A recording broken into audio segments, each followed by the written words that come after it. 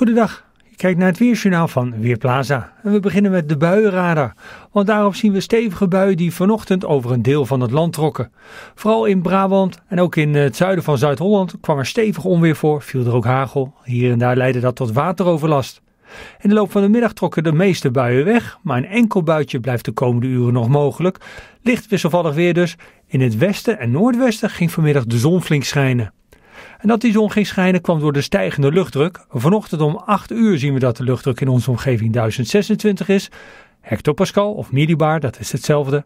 En als ik dan de beelden in beweging zet, dan zien we de luchtdruk langzaam stijgen. Morgen in de loop van de dag komt hij zelfs eh, op 1036, 1037 uit. Dat is een hoge luchtdruk. De barometer geeft dan meestal aan standvastig weer, mooi weer. Soms staat er ook zonnig bij. Maar in deze modelvelden zien we dat er zelfs nog wat lichte neerslag wordt berekend. Dan ga ik niet van lichte neerslag uit, maar er zijn wel wat meer wolkenvelden in de oostelijke helft van het land. Kijk over, ook even naar rechtsonder, daar ligt een lage drukgebied. En dat lage drukgebied zorgt voor extreem slecht weer in de uh, omgeving van Roemenië, Hongarije, Servië, Bosnië. Ook Slowakije, er gaat veel regen vallen in dat deel van het land. Uh, zou me niet verbazen als er hier en daar uh, meldingen komen van wateroverlast.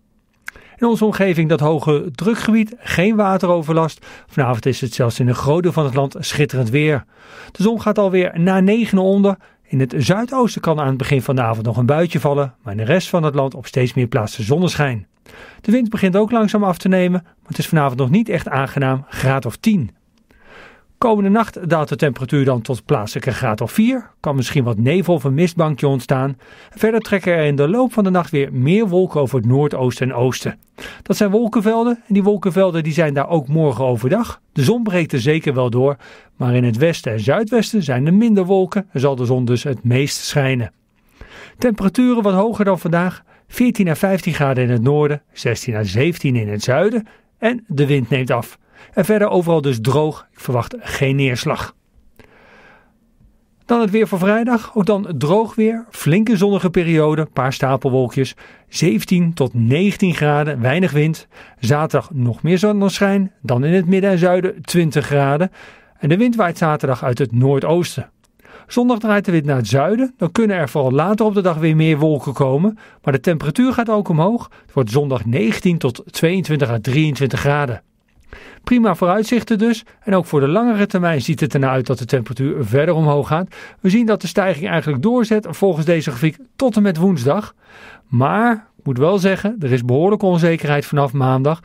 Misschien dat er maandag al buien komen, dan zet de stijging niet door.